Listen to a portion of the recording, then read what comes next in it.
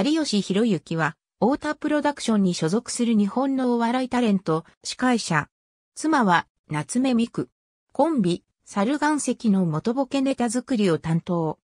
広島県安芸郡熊野町、中溝出身。身長172センチメートル、体重62キログラム、血液型 A 型。広島県観光大使、東京銀座の広島県、アンテナショップの店名、タウ名付け親。江戸川区インド人改名誉アンバサダー。自称、太田プロの真珠、広島が生んだ、階段時、軍人ロックスター。1992年12月、当時高校に在学中だった有吉は、EX テレビの企画、公開弟子審査会に合格し、オール巨人へ弟子入りした。しかし、兄弟弟子と喧嘩に発展して、相手に怪我を負わせてしまい、巨人から謹慎を言い渡される。そのまま無断で巨人の下を離れた有吉は、地元の同級生だった森脇和成を誘い二人で上京する。1994年、太田プロダクションに所属し、森脇とコンビ、猿岩石を結成、ボケ担当としてデビュー。後に、巨人の楽屋に出向き、正式に波紋となる。1996年、進め、電波少年でのヒッチハイクの旅企画にて話題となり、ブレイク。帰国後は CD や著書が爆発的に売れるも、肝心のお笑いで結果を残せず、ほどなくして人気は低迷し仕事も激減。本人曰く自身は、当時、天狗になっており、あまり人に好かれておらず、ブームが去るとその後の転落速度は相当なものだった。それから7から8年間、広島のローカル局への出演以外は仕事がなく、経済的に自活もできず食事などは上島竜兵らの世話になっていた。仕事もなくほとんど家におり、ネタもないためブログには作り話を多く綴っていた。不遇の時代については、ブレイクと転落を参照。2004年に猿岩石を解散し、ピン芸人として活動を始める。この頃から内村プロデュースへ出演するようになり、これが久々の全国ネット番組への出演となり、復活への足がかりとなった。有吉によれば、自分の復活は正しく、うち P のおかげであり、うち P で再デビューといった気持ちでもあったとのこと。なお、うち P 出演時は、基本的にリアクション芸で裸だった。また女性ファン層は諦め、同世代の男性に的を絞っていった。そして、ダチョウ倶楽部の協力などもあり、それらは一定の成果を収めた。有吉自身、結果的には、裸が功を奏したと語っている。月収はいつしか30万円程度にまで回復していた。2007年、アメトーークで発生したお釈訴事変が話題を呼ぶ。8月23日放送会で品川優に対して世間が持っているイメージをおしゃべりクス野郎と表現し、これが爆笑を呼んだというもの。このコメントは同番組の年間流行語大賞となり、有吉本人も久々に爆笑という感覚を味わったと自賛している。以降、有吉はあだ名及び毒舌芸人として人気を得ることとなる。なお有吉が2010年に10回したところによれば、決して自分から再ブレイクなどと言って反感を買うようなことはせず、できるだけ目立たず名誉より金ということである。R-1 グランプリにも興味はなく、太田プロのライブにも出ていないとのこと。その後順調に仕事は増え、2011年にはメディアの調査、分析を行う日本モニターの調査による2011年テレビ番組出演本数ランキングにおいて出演総本数499本を記録し1位となった。2012年3月、広島県観光大使に就任した。2013年11月23日、第10回一本グランプリで初優勝。翌2014年11月8日には第12回一本グランプリで2度目の優勝を果たした。2013年には一気に5本のレギュラー番組が増え、そのうち4本が冠番組を占めるなど仕事が大幅に広がった。2019年4月、有吉のお金発見突撃。金尾くんがレギュラー放送となり、主要テレビ局すべてにレギュラー間番組を持つことになった。地上波の全曲同時レギュラー出演は2008年に国分太一、2014年にサマーズが達成しているが、全曲に冠番組を持ったのは有吉が初である。2021年4月2日、フリーアナウンサーの夏目ミクと前日の4月1日に結婚したことを所属事務所を通じて発表した。ブレイク時の有吉の月収は最高で2000万円に達していた。しかし有吉は、ブームはそう長くは続かないと考えて、毎月の生活費を抑え貯蓄に励んだ。貯蓄は最高時で7000万円に達したが、税金の支払いなどで残ったのは約4000万円だった。その後、有吉の予想通りに仕事の量は減少。毎月100万円だった給料も部合制と化し、月収7万円から8万円もしくはゼロとなっていった。しかしながら、ブレーク時の収入を貯蓄していた有吉は、貯蓄を切り崩すことで、不遇の時期を乗り切っていった。有吉は当時を振り返り、このような倹約があったからこそ、不遇の時代を借金することなしに過ごすことができた。そうでなければ、おそらくホームレスに転落していた。この貯蓄があったから踏みとどまれたなどと10回している。なお約4000万円あった貯蓄は、7から8年後には、数百万円程度まで減少していた。しかしながら、有吉は転落してしまったことを非常にストレスだと考え、相当に思い詰めていた。収入が少ないにもかかわらず、人から蔑まれるのが苦痛で、アルバイトなどもできなかったため当時は自殺も考えたとのこと。芸事の方向性も迷走し、有吉は漫画用具一式を購入して漫画家を志しかけたり、一物を切り落としてお姉タレントとして再起を図ろうとしたり、AV 男優に転身しようかと考えたこともあった。コンビ時代は主にコントを演じネタ作りも担当していたが、解散後はピン芸人としての舞台用のネタなどは一切持っておらず、バラエティ番組に特化した純粋なテレビタレントとなっている。口述のあだ名の命名に代表されるような毒舌や辛口コメントを得意としている。毒舌に関しては、有吉自身が嫌われない毒舌のすすめ、毒舌薬哲学者の言葉という著書を出版するほど。発端と経過発端は、アメトーーク。2007年8月23日放送分。有吉が一発や芸人にならないための方法を指南する役としてゲスト出演し、そこで世間からこれという固定イメージを持たれないことが大事と解説。その話の流れで有吉がひな壇に並ぶ他のゲストたちに世間が持ってるイメージをアドリブで直接伝えていくことになった。その際に品川優に対して品川の芸風を揶揄しておしゃべりクス野郎というあだ名を命名した。この一連の流れがスタジオの大爆笑を誘い、その後他の番組でも有吉が品川のことをおしゃべりクス野郎と呼んだというエピソードが多く語られるなど次第に反響は大きくなり、ついには2008年3月13日放送分において、おしゃべりクス野郎がアメトーーク年間流行語大賞に選ばれた。この一連の出来事を有吉自身はおしゃくそ事変と呼んでいる。この出来事以降、有吉のこのあだ名の命名という特技がアメトーークを中心に多くの番組で取り上げられ、多数の共演者に対して毒を含んだあだ名を命名している。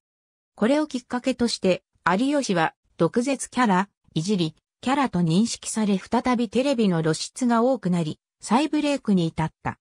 あだ名に対する周囲の反応を有吉は、アメトーークの演出兼プロデューサー、梶治さんに対して、梶さんとアメさんと品川に感謝ですという感謝のメールを送っている。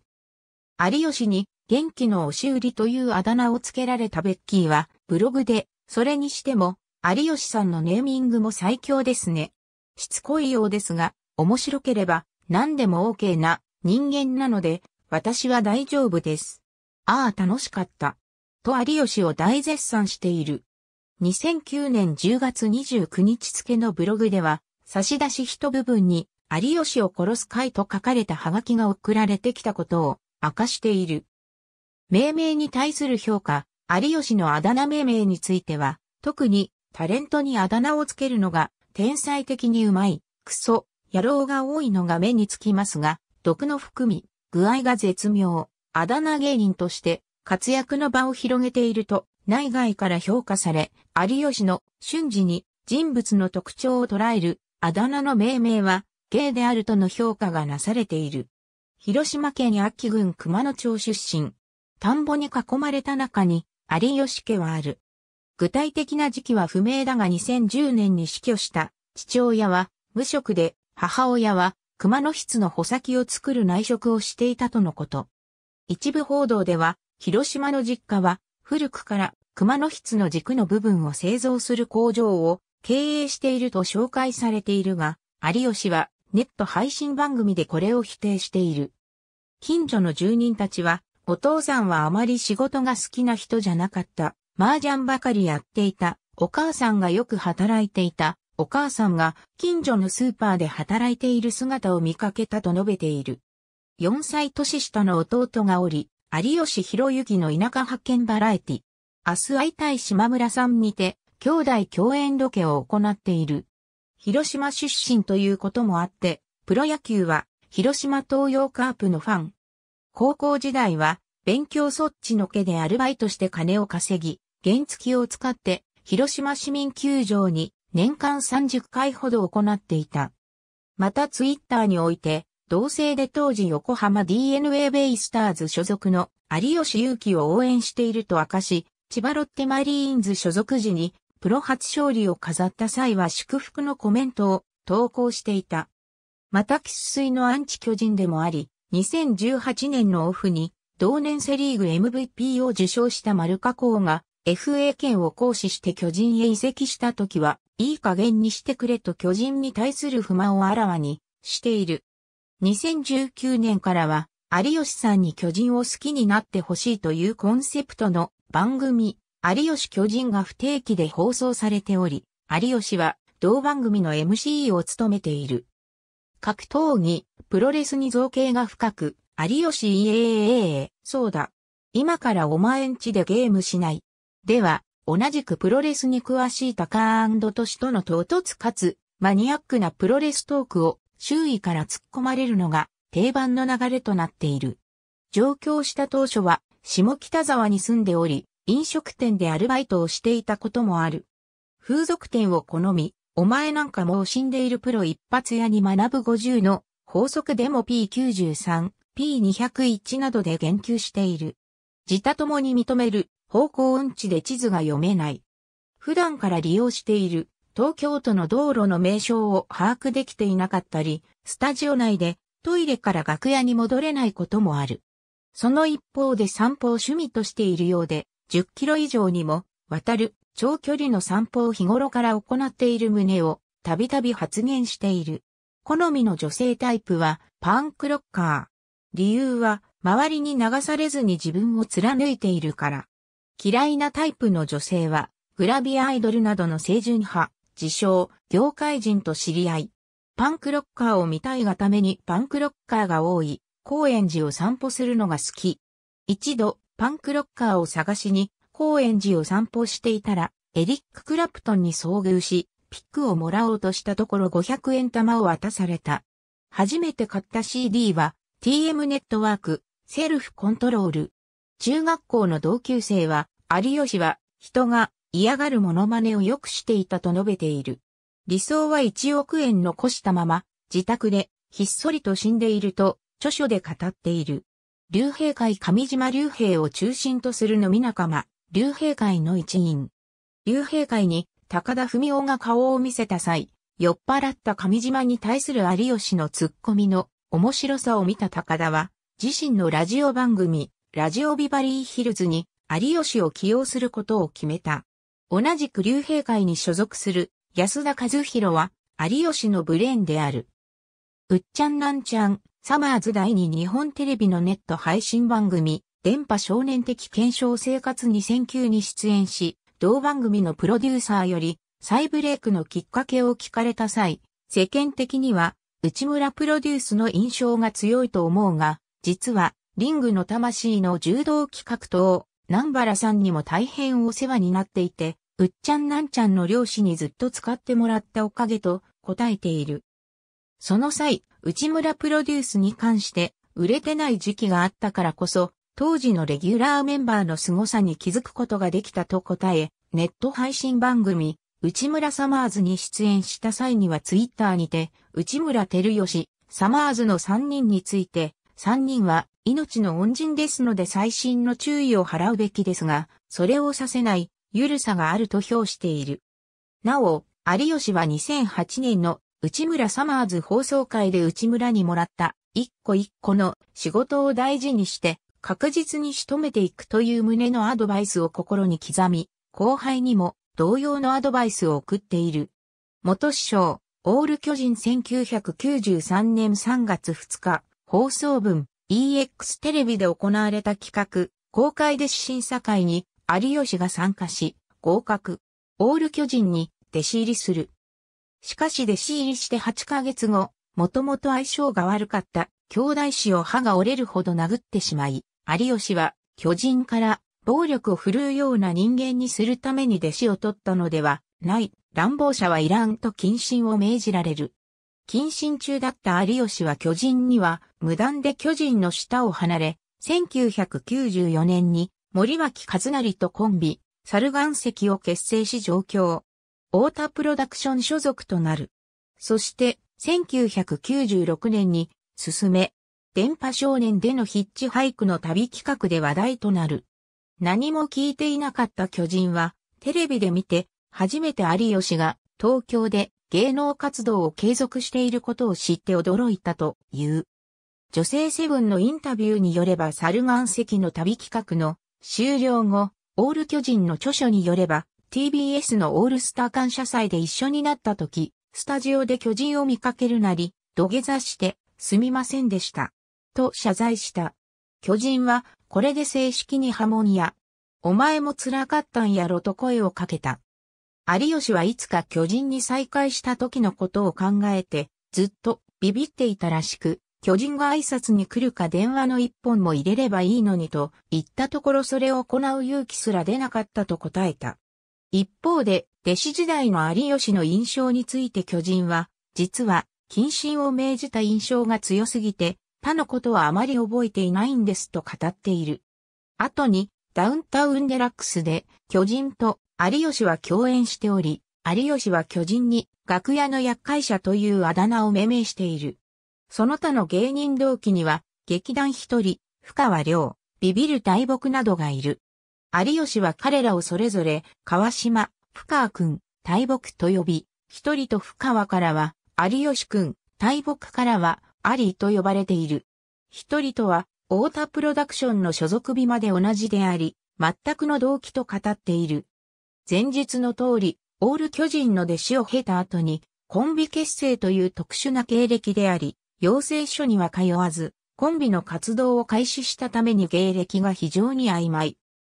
有吉本人は、オール巨人の弟子となった1992年から芸歴としてカウントしているが、同期として接しているのは1994年頃にデビューした同い年の芸人に対してであり、デビューは同年でも年上であったり、コンビ結成が早い芸人に対しては、後輩として接している。吉本所属の芸人に対しては、ロンドンブーツ1号2号やペナルティ、その同期にあたる NSC、大阪校12期出身の芸人までを先輩とし、タカトシや、その同期の NSC、大阪校13期以降の芸人を後輩としている。芸能人特有の軍団や直系の弟子を持たないが、吉村隆は有吉をお師匠さんと呼んでいる。藤田ニコル、池田美優は2017年頃から有吉の番組でのゲスト共演も多く、師匠みたいな存在と語り、有吉自身も弟子扱いすることが多い。有吉は2012年11月から2020年4月まで、ツイッターのフォロワー数が最も多かった日本人である。2012年11月末にフォロワー数が当時首位だったソフトバンクの社長、孫正義を抜いて日本人としては1位となり、2013年2月6日には国内初の200万フォロワーを達成した。さらに2014年3月1日、国内初フォロワー300万人を突破。その後もフォロワーは増加を続け、2015年1月31日に400万人、同年11月20日に500万人、2016年9月4日に600万人、2018年1月3日に700万人に国内で初めて到達した。お笑い評論家のラリー・トーダは芸能界における毒舌キャラに必要な条件として的外れではない、鋭い批評精神があること、悪口を言っても許される人間であることの二つを提示し、有吉はその二つを兼ね備えていると評している。特に二つ目の悪口を言っても許される人間であることという点について、エンダは雑誌 MQ での有吉のインタビュー記事の売れない時期が続いてや探れたっていうことで、や探れて当然だっていうバックボーンは作れたんじゃないですかねという発言を引用し、一時は頂点を極めながら最底辺まで落ちぶれたという点で、有吉ほど強力な毒舌の免罪符を持っている芸人もなかなかいないと表現している。千原ジュニアは有吉の毒舌テクニックについて、有吉は毒舌を言った後に絶対に笑うというポイントを語り、飴と鞭を使い分け、毒舌を吐いた相手を本気で怒らせない、有吉のしたたかな芸風を指摘した。またジュニアは有吉をカウンター芸の極みだと評し、求められるままに手持ちのネタを出してばかりである芸風の自分を残高が減る一方と表現し、逆に相手から投げられたボールを返すことを主とする有吉のトークテクニックを挙げ、有吉の残高はまだまだあると表現した。虎ノ門にて体調の悪かった有吉は生放送中にカメラの前で追おうとしてしまった。だが、有吉はとっさに吐砂物を左手でキャッチして、ポケットにしまい、一連の行動で笑いを取りながらも、何事もなかったように振る舞い、放送事故にはならずに済んだ。この、有吉のプロ根性を同番組で共演した土田照之は称賛している。放送作家の鈴木治は、ほとんど構成を立てず、有吉の自由な休日を VTR にまとめただけの有吉の夏休み密着100時間が14.2%という高視聴率を獲得したことについて、〇〇の休日などという内容で視聴率が取れたのは一昔前の大スターが出演する番組のみであり、最近では成立するのが難しいと言われていた。しかし、その殻を久々に破ったのが有吉だったと解説した。その話を受けて、関根勤は、このまま2年3年と続くと、さんまさんやたけしさんらに次ぐ芸能界の新しい柱になり得ると評価した。小籔和豊は有吉を同年代の中の超ウルトラハイパー発射と評している。2018年頃から2桁に達する冠番組の多さにバラエティ番組の帝王とマスコミに表現されることが多くなっている。現在、テレビラジオのレギュラーすべてが冠番組である。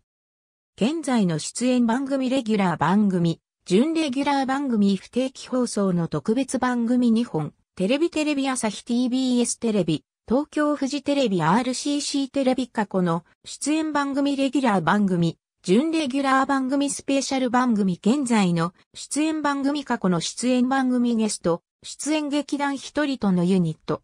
ありがとうございます。